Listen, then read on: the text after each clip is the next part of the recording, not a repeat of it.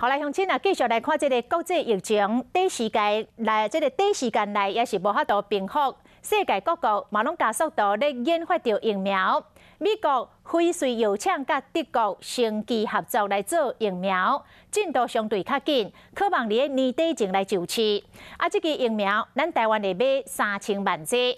另外一支进行当中的英国的疫苗，得到美国金钱的援助，嘛进入到关键实验的阶段。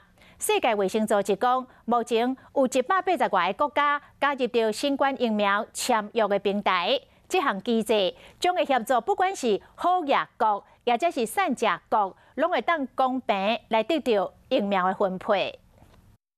今年短时间内无多解决疫情，德国生技公司纷纷开始研究疫苗。目前有三间公司进度领先，其中以美国辉瑞药厂甲德国生技公司进度上紧，各计年产七亿五千万剂。台湾生技厂台湾东洋嘛，公告讲处理这支疫苗的代理权，上届会使有三千万剂交货量，上紧明年头一季都一千万剂疫苗会使入要到台湾。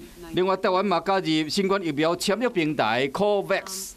The COVAX facility is going from strength to strength. Um, October 9th was another deadline for countries to make uh, commitments.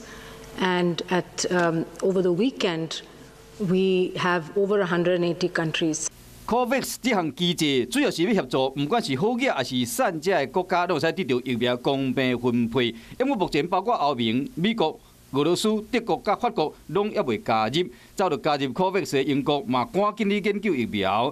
英国阿斯特捷利康制药公司研究疫苗，捌好者受试者出现严重不良的反应，捌停止试验。因果伫得到美国四亿八千万美金的赞助，差不多是一百四十亿代表研究经费了后，阿斯特捷利康又搁进入关键的第三阶段试验。